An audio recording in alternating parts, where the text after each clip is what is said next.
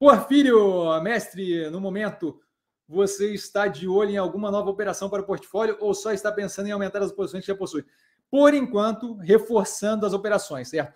É, no abertura de mercado de hoje, eu comentei ali as que estão na mira, aquelas ali são, se não me engano, as últimas que eu não estou comprado nas mínimas que eu poderia, certo? Então, assim, primeiro reforçar o portfólio, tá? E aí, portfólio estando reforçado, aí a gente começa a abrir é, para aumento de posições, aí muito possivelmente, vamos ver como vão as coisas, mas muito possivelmente começar a olhar para aço e minério de ferro, muito possivelmente começar a olhar para as operações de autopeças, tá? que a gente tem analisado aqui no canal consistentemente, muito possivelmente é, pensar numa expansão no setor de educação, tá? Mas por enquanto eu quero reforçar as posições que estão no portfólio, porque são muito boas posições, é, não fazem qualquer sentido no que tange a precificação atual, tá? E eu quero aproveitar este momento, não é do tipo, ah, eu quero reduzir preço, não, eu quero aproveitar esse momento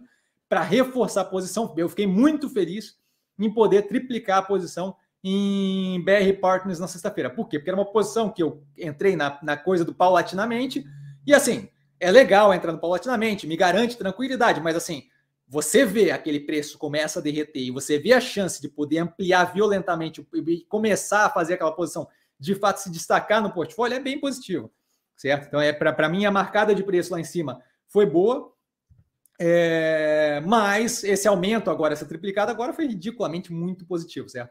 É um ativo que eu estava disposto a pagar o preço que eu paguei inicialmente, que é 25% a mais, se não me engano, e agora podendo é, triplicar com um desconto violento de uma operação que eu já estava tranquilo lá em cima, com preço lá em cima.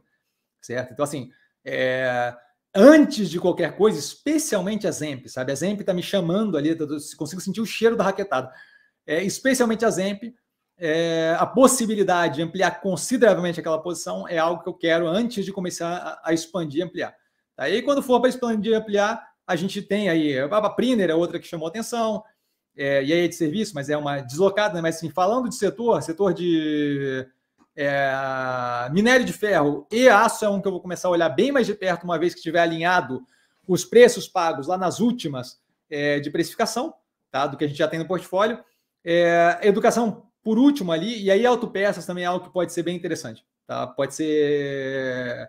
É, a, a Yoshi Maxion ali é uma que o Marcelão estava chamando a atenção, de, de que está o preço derretendo e tal.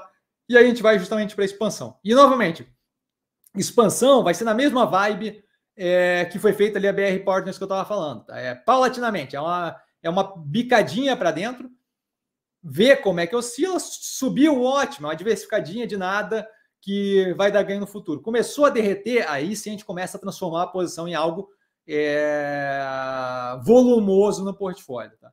É, mas basicamente isso por enquanto, melhorar as posições que estão no portfólio, que eu estou bem tranquilo com elas, bem confiante nelas.